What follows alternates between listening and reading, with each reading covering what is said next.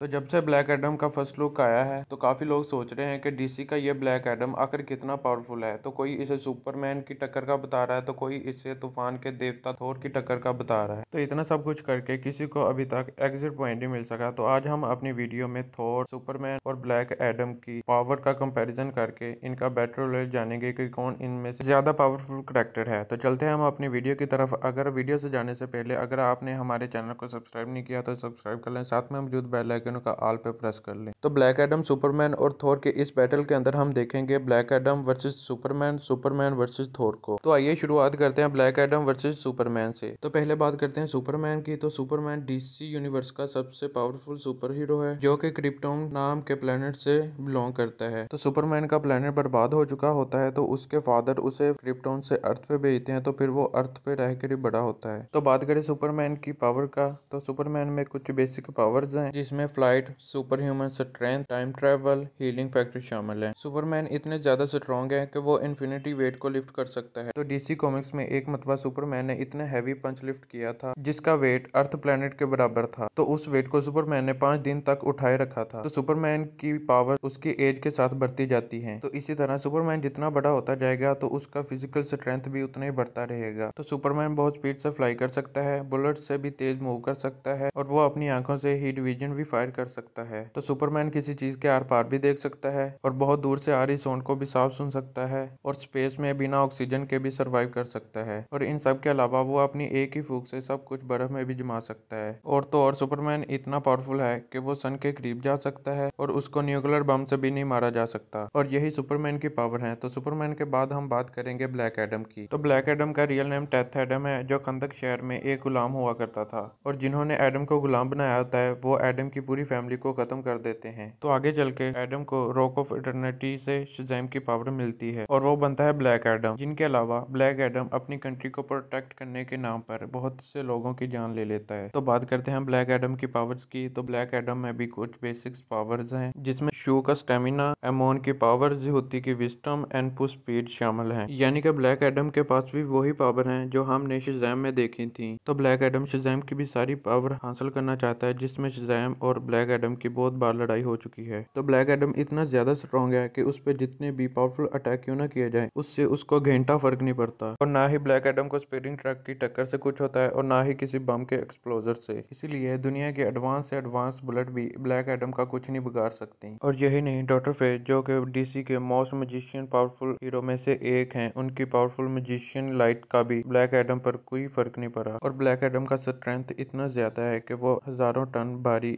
Aircraft को ball की तरह उठाकर फेंक सकता है और स्पीड के मामले में स्पीड ऑफ़ लाइट से भी रन कर चुका है। और ये अपने एक ही स्लैब मतलब के एक ही ताली से पूरे शहर को भी तबाह कर चुका है। और तो और ये अपनी मेडिकल लाइटिंग से एटम फ्रेशर को भी फिर से ज़िंदा कर चुका है। तो ब्लैक एडम और सुपरमैन की पावर के बाद आइए हम बात करते हैं इनके बैटल की कि कौन इनमें से एक ही लड़ाई में कौन एक दूसरे को हरा सकता है। और यहाँ तक बात है ब्लैक एडम की तो ब्लैक एडम जब भी सुपरमैन से लड़ा है तो अपनी पूरी पावर से सुपरमैन को मारने के इरादे से ही लड़ा है। तो जहाँ तक बात है सुपरमैन की तो सुपरमैन जब भी ब्लैक एडम से लड़ा है तो उसे रोकने की इरादे से ही लड़ा और अगर सुपरमैन ब्लैक एडम को मारने के इरादे से लड़ता तो उसे एक मिनट में ही डेर कर सकता था। और यहाँ हम कह सकते हैं कि सुपरमैन ब्लैक एडम से ज़्यादा पावरफुल है। तो अब हम बात करते हैं सुपरमैन वर्सेज थोर की। तो सुपरमैन की पावर को तो आप जान चुके हैं। अब हम बात करेंगे थोर की पावर की। तो गॉड ऑफ़ थंडर थोर एक एस गार्डियन गॉड है, जो कि ओडिन का बेटा एस गार्डियन का गॉड है। एक गॉड होने की वजह से थोर के पास सारी सुपर पावर है, जिसमें सुपर स्पीड स्टेमिना और सुपर हीलिंग फैक्टर शामिल है। थोर की एज बहुत स्लोली बढ़ती है, इसीलिए थोर हज़ारों सालों से ज़िंदा है। और आगे भी हज़ारों सालों तक ही ज़िंदा रहेगा। थोर को गॉड ऑफ़ थंडर ऐसे नहीं कहा जाता क्योंकि उसके पास थंडर की पावर है। और यहाँ हम बात करेंगे थोर की पावर की तो थोर ने अपनी पहले मूवी में ही डिस्ट्रॉय आर्मर को ही डिस्ट्रॉय कर दिया। था destroy armour Asgardian metal से बना एक बहुत ही पावरफुल मेटल था, जो एस गार्डियन को प्रोटेक्ट करता था। थोर का स्ट्रेंथ भी इतना ज़्यादा है कि वो न्यूटन स्टार की फुल फोर्स को भी झेल चुका है। और बात करें अदर करेक्टर से फाइट करने की तो थोर एग्नोटो के अंदर थोर सेटर जैसे बिग फाइटर को भी हरा चुका है और हल्के से फाइट करके उसे भी बराबरी की टक्कर दे चुका है। और तो और इन्फिनिटी वार में जब सारी एवेंजर लगभग हार ही चुके थे तो वो थोर ही था जिसने आके बैटल का रुख ही बदल दिया और उसके बाद थोर ने इन्फिनिटी स्टोन की पावर को ओवर पावर करके थाइनोस की छाती में स्ट्रॉन्ग बेकर भी घुसा दिया था। और इनकी पावर क्लियरली जाने के बाद आइए हम बात करते हैं इनके बैटल की। और जहाँ तक बात है इनकी स्ट्रेंथ की तो इनकी स्ट्रेंथ तो लगभग एक ही है।